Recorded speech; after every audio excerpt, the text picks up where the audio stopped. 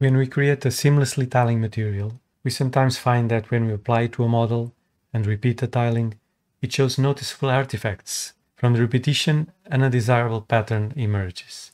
The problem with these artifacts is that oftentimes they are only visible when you actually repeat the map. In this tutorial, we'll see how to detect this and an example of fixing the problem. To view map repetition in Pixplant, you could repeat the map in the 3D preview by changing the UV multiplier. But there's uh, a better, easier way.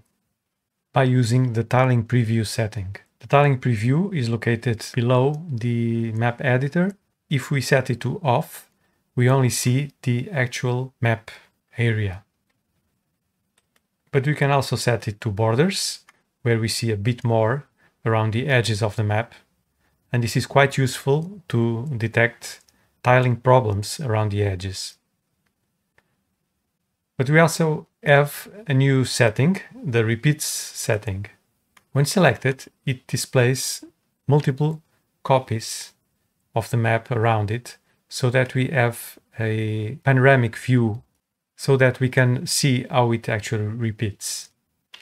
In this bricks uh, material, we have some repetition problems.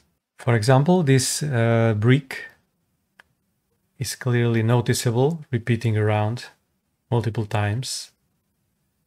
And we also have this brick row, because the bricks uh, are so similar, it also forms uh, a pattern.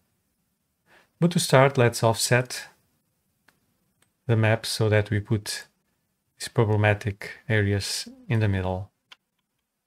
Okay, so this brick is causing the problem and to handle it, we can go to the paint tool and select clone. We need to make sure that apply to is set to all maps so that operations that we do here will uh, apply to all other maps. And to solve this, uh, we can start by selecting, by picking an homogeneous brick that we can use as a clone source. Let's, for example, uh, use this one. I'm pressing the Alt key and I will click on this corner of this brick and I've set the clone source. And we can then come here and clone from the source brick into here. Okay, and it's now not so so noticeable but we still have problems with the bottom edge of this brick. Well, let's get rid of it in the same manner.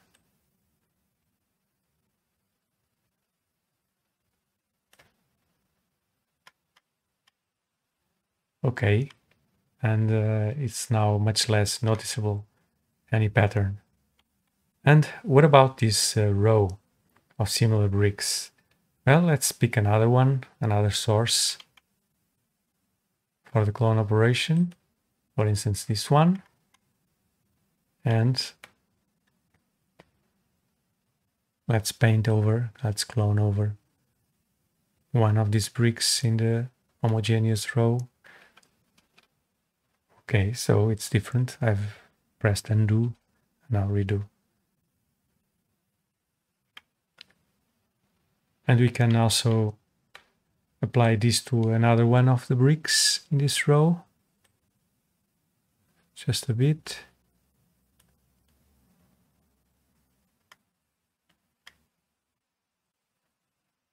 Okay. And I think we got rid of the problem. There are no noticeable patterns anymore and we can repeat this map without problems.